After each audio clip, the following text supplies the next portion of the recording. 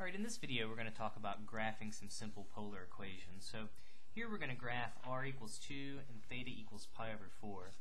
There's two different ways you can think about these. Just to graph r equals 2, um, what that really says to me, it says it's kind of independent of the angle. So pick any angle that you want, just go out a distance of 2 from the origin.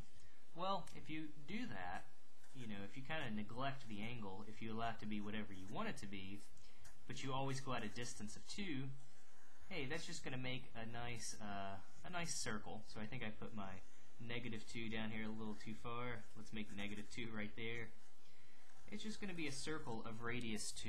And again, you can see that because we know that r, uh, we could rewrite r as the square root of x squared plus y squared equals 2. And if you square both sides, we get, hey, x squared plus y squared equals 4. And again, x squared plus y squared equals 4. That's just going to be, again, a circle of radius 2. So this would be part A.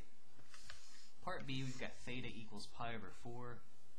So theta equals pi over 4. Again, you can kind of think about this in the same way. It says go to an angle pi over 4. So pi over 4 would just be our 45 degree line here. So there's the angle pi over 4. And then eh, kind of the same idea. It says always let the angle be pi over 4, but pick any r value that you want. Well, if r is positive, we'll get uh, you know the segment of the line that goes off into the first quadrant. If r was negative, though, it would reflect down into the third quadrant. Um, and basically, we would just get a nice little line.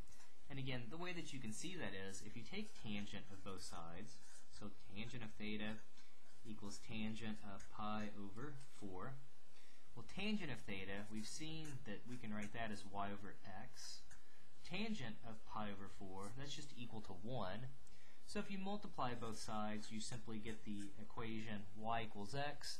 And again, that's what y equals x looks like. So two different ways to think about it. You know, just uh, just to think about the equation that you're given, but uh, also a very very common thing to do is to convert them back into these uh, rectangular coordinates to where hopefully it's something a little more familiar.